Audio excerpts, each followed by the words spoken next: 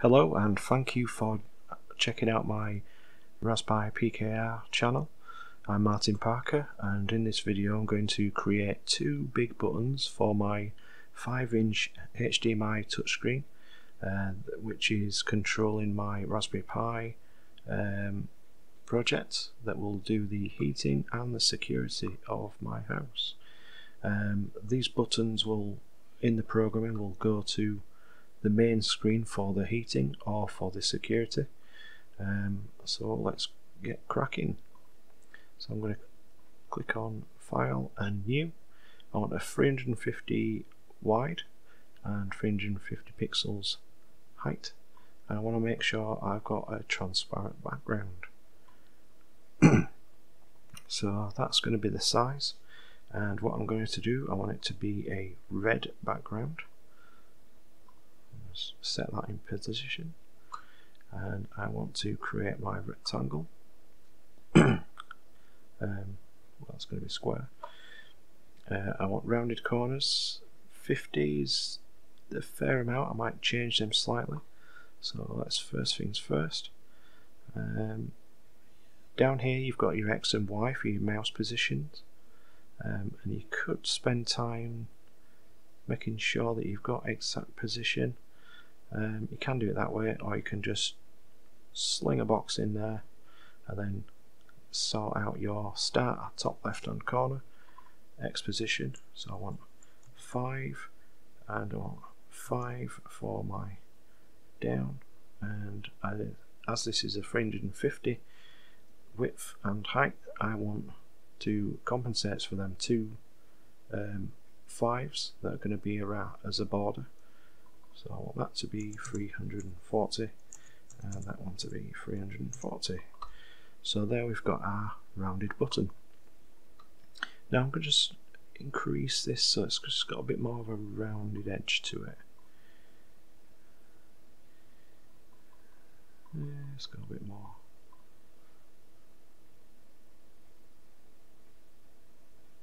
Yeah, I'm happy with that. Nice rounded edge. Right, next I'm going to click on Fill Bucket, Bucket Fill, however you want to call it. Uh, I've got my colour set already, click there, and there's my background for my button. And next I'm going to click on Select and None to get rid of the little marching ants, the selection. Next I'm going to create a new layer uh, keeping it with the transparency it's going to have the same width and height. And in here I'm going to set my gradient. And I want to change the colour. I want this to be for black because uh, I want it to get darker the nearer it goes to the edge just so that it stands out more on the screen. So leave that there for now. I'm going to click in the roughly middle doesn't matter if I don't get it bang on. I could work it out so it would be 175 um, but I'll just click anywhere and drag out to one side. Okay. Now if I click this one here it changes that point. Click this point change it to the start point um, because it's in the in the reverse order. So if I click this one and let's get this bang in the middle 175 next one 175 click enter and that should just jump. Boing. and looking at these outer edges they're all going to be the same. I don't need that now. I don't want to have it too dark. I want to be able to actually see the actual the redness shape. Uh, if I bring it in, you see how it's ruining it. So that's why I want to have it. And it's good to have that black area there to give me an idea. So there it looks looks alright. Just a slight tweak. Go with there. Happy with that? Are you happy? I am. Right. I'm just going to click on the grab tool just so it comes off of that. I'm happy with that. Next I'm going to click on the text and I want to have a coloured text so what will stand out pretty good on um, a red background. Could have blue, green, yeah, yellow will stand out pretty well. So we'll get a nice bright yellow. Select up here. That's nice and bright. Click OK. That's our text colour. Um, text size is about the size that I want to have it. And I'm just going to click just about middle area and then just drag a box into the rough size. I've got it centered for, uh, justify for the center for the text so I'm just going to write in heating in capitals so it's easy for people to read. Um, looking at that he wants to go slightly to the left. Just eyeballing it here. Um, maybe a smidgen more.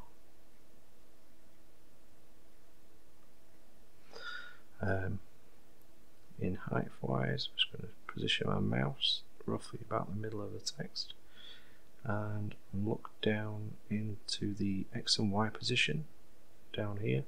I could see that it was a little bit too low so I'm just going to raise the text up a little bit.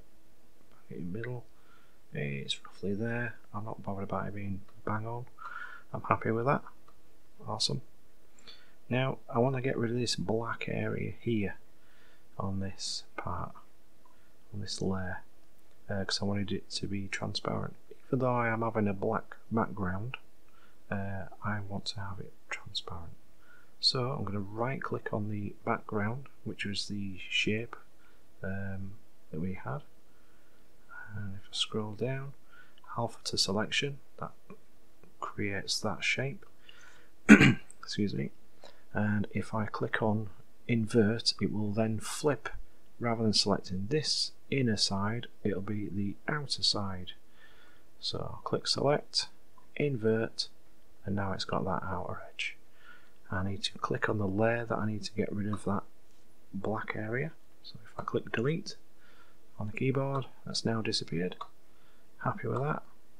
Click select none job's done.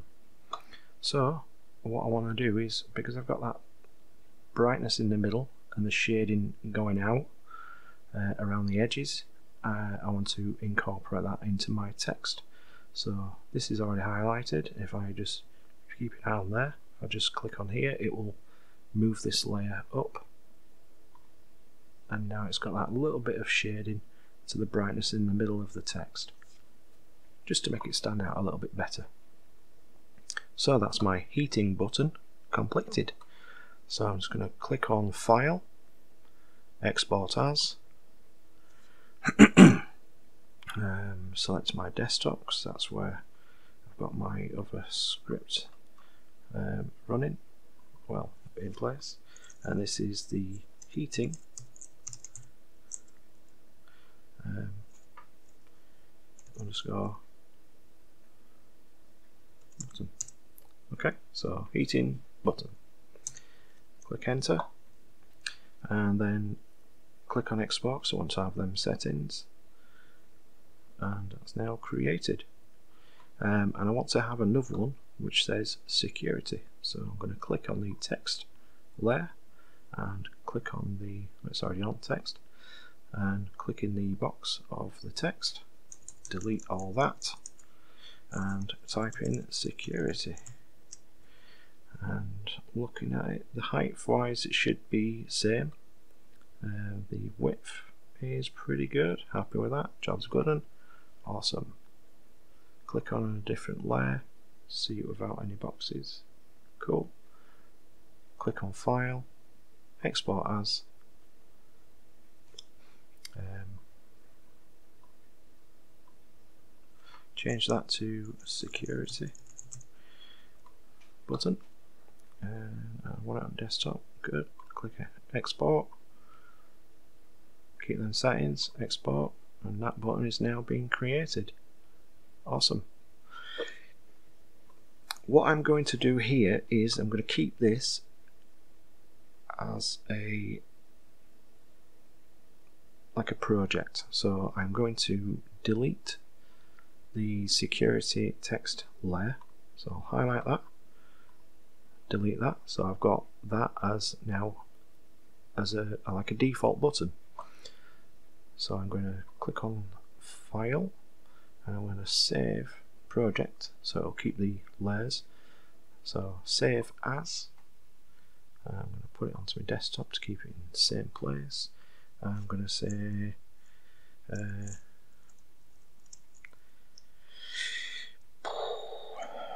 heating no, heat underscore security. Uh, sec um, underscore button. Yep. so that's going to be as a default. So I'm going to click save. So I'll keep that on my desktop. So I can close that close that and there's the buttons and there's the uh, project file so I'm going to open up my Python IDLE and open up a script that I was playing around with just to get the buttons in place. Uh, because I've changed the description I need to just add in the underscore and the button for these. Uh, so what this script is doing, I'll just bring it full screen, is I'm importing Tkinter as TK and creating a widget window uh, of that size because that is the size of my screen so I don't push the boundary of the the window any bigger. Uh, it has a black background that's just there just for a spacing um, to sort these out. Um, it's basically when you click these buttons it's going to trigger these functions and it will just print in the shell window. Uh, so let's run that.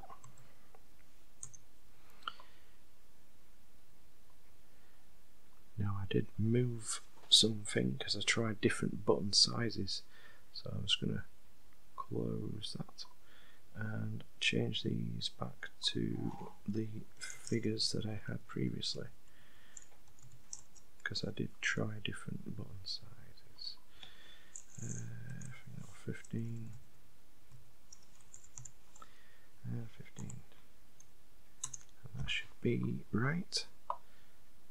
It looks about even gap top and bottom in between sorted. Now if I so this on my screen looks bigger than 800 pixels um, but this will work on that screen perfectly. Um, it's just the way that the the Raspberry Ras, Raspbian is set up, um, so I can see things better. Um, so if I click on the heating button, it would then go to the layout for the heating. If I click on the security, it would then go to the security layout. Okay, so that's just a creating these buttons for my project. Thank you for watching. Uh, if you want to subscribe, share, entirely to you. I'm not going to push it onto you. Uh, thank you for watching and see you again. Bye.